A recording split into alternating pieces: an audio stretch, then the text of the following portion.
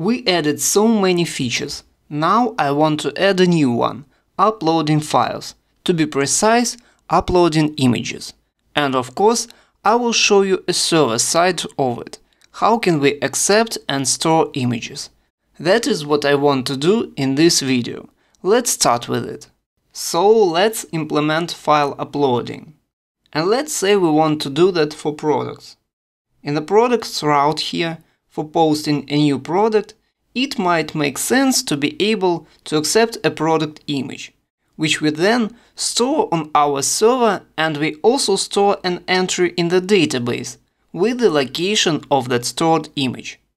So that we can send it back with a GET request when we get all products or a single product. So the first step is to accept images here in the post route. Of course, we can build an additional endpoint where we accept only binary data. One problem we have with this approach is that we also somehow need to find out to which product this file belongs. So the easier approach is to change the way this post request here works. We are getting a request body here which is coming from our JSON request decoder, which decodes the incoming JSON request body. Now, if I accept the different kind of body, form data, to be precise multipart form data, we can submit with the form both fields with data like name, price and files. And now, this is the if I accept the I different kind of body, there is no need to change anything to be in precise, our code to be able to read data. form data. Then this which changes. is actually another content type. Behind the scenes, React PHP server already does that for us.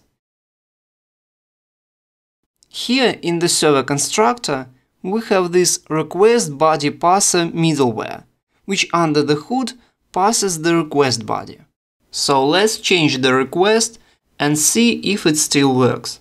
Open requests file and here is our post request to slash products. We replace JSON content type with multipart form data. Use boundary. Here we can use any random string. And then we start the request body. We separate different fields with such strings, two hyphens and our boundary. Then comes content disposition, form data, the name of the field, we skip an empty line, and on the next line we provide a value of this field. Again, we separate the next field with two hyphens and our boundary content disposition, form data, name price. Empty line, then the value. And close the request body. Done. Here we have changed the request type from JSON to multipart form data. Send it to check that it still works. And it works, great. Now let's send an image within this request. Here I have some dummy image. So add one more section here and we provide the file name and the path. We have a PNG file, so add the corresponding content type image PNG. Okay, the request is done, now let's handle this request. Open input.php and add a new helper method image. It can return an instance of the uploaded file or null. We get all uploaded files. It is an array of files that come with the request, where the name of the field in the request is a corresponding key in this array. In our request we have a field with the name image. So we return this file if it was uploaded, otherwise we return null. The next step, we need to store an uploaded image on disk. But before we continue, a few words about working with the file system in React PHP or in any asynchronous program.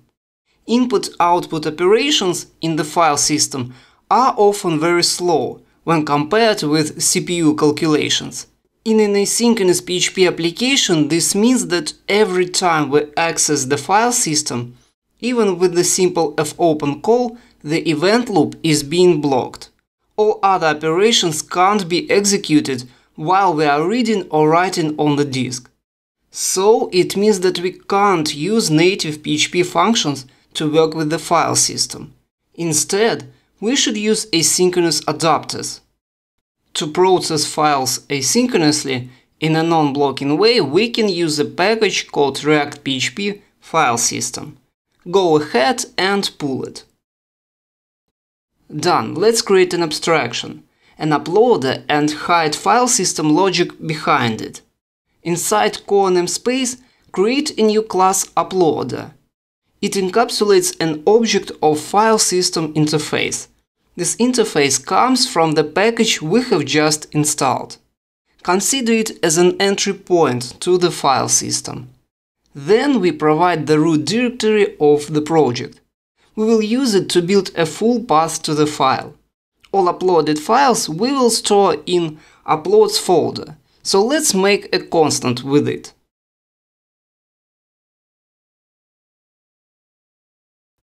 Ok, then add a method upload, which accepts an instance of uploaded file and returns a promise.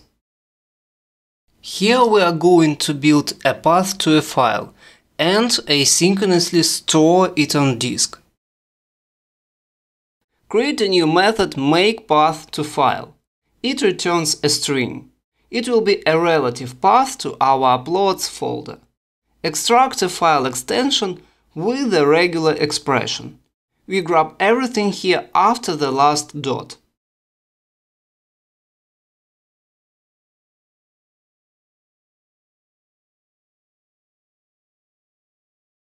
The path consists of the uploads folder, the hash we make from the contents of the file and its extension. This relative path will be stored in the database. Here, when we create a file on disk, we use a full path with the root directory of our project.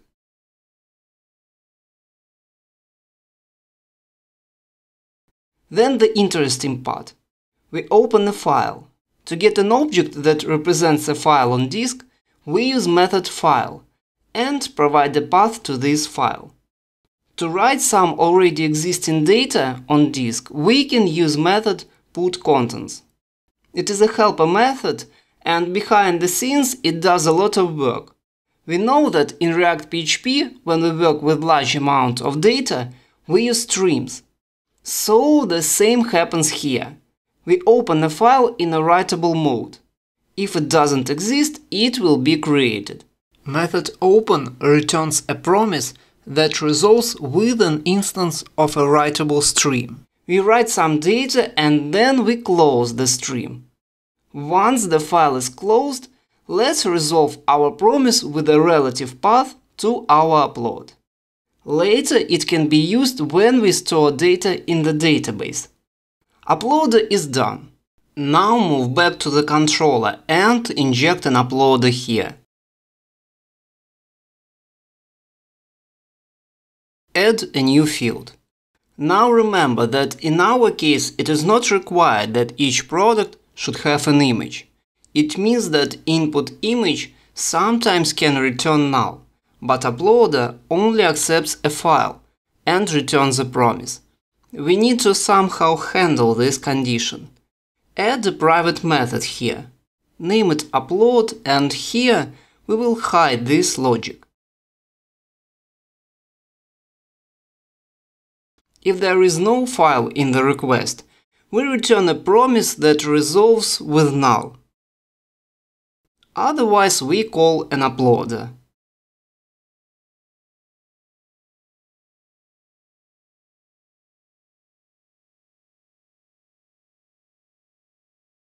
Then here we call this upload and provide an input.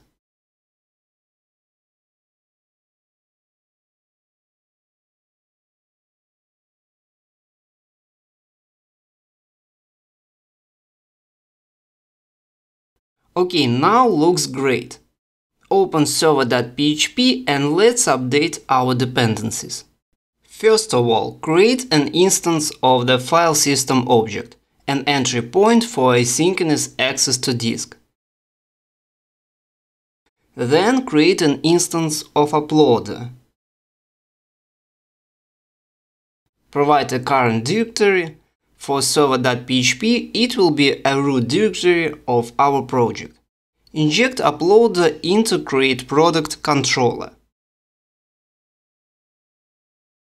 And let's create uploads folder. Okay, done. I don't want to track uploaded files, instead I want to keep this folder empty.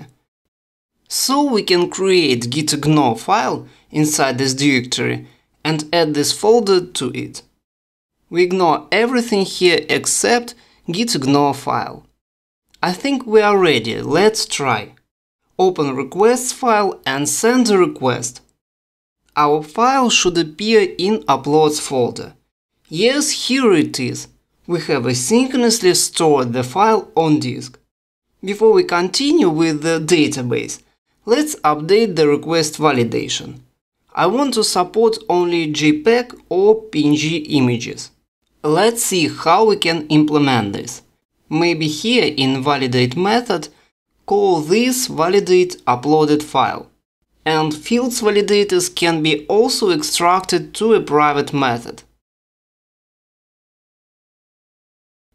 add this method, it returns nothing. Inside we check if the request contains a file and if its type is not among the supported ones, we throw an exception. To get the MIME type of the file, we use method getClientMediaType and we check it for JPEG and PNG files. Throw nested validation exception saying that image has invalid extension. Select JPEG or PNG file. And for this array we can extract a constant. Name it supported file types. Okay, save this. Now if I try to send, let's say, plain text, we get an error. Nice, let's continue with the database. For now, our schema doesn't support product images. So let's create a migration and add a new column to products table.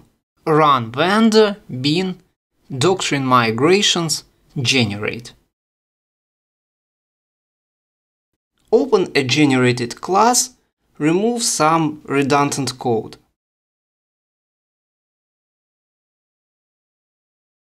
Okay, we call this add SQL. Table products, add column image.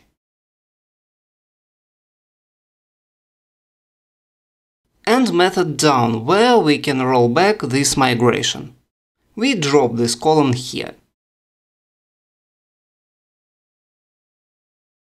The migration is done, so let's update our schema. Run vendor bin doctrine migrations migrate. Let's see. Yes, now table products contains a new column image. Then we can update a storage and write a file path to the database. Method create can accept a nullable string image. Update a query and add an image.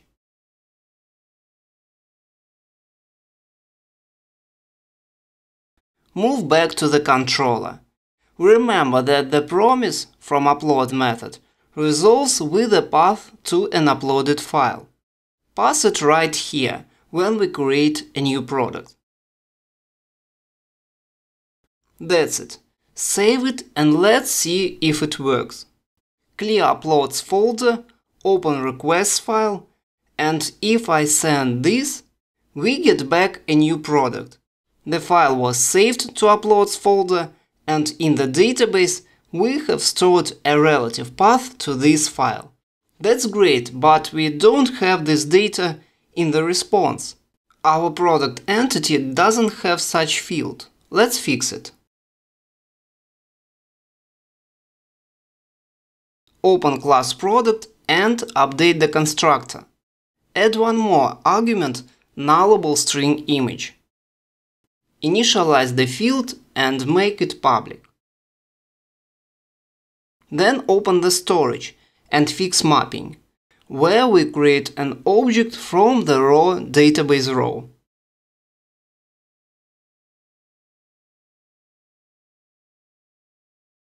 Update our select queries at image column here and here. And fix it here when we create a new product. Done. We have updated the storage layer. Now we need to update our output layer.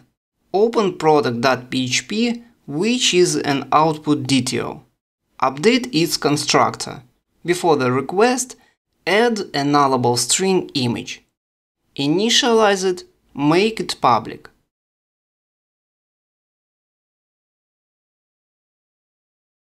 Update the static constructor from entity.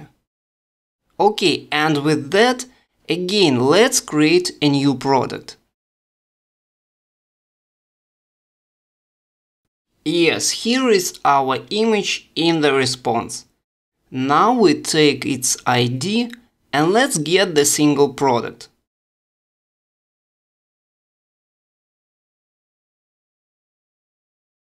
The response contains an image and if we request all products,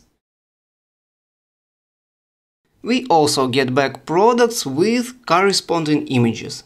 That's nice, but if I try to open this image in the browser, I get 404 error. Why? Because we don't handle such routes. Uploads slash something. Here is the list of our routes.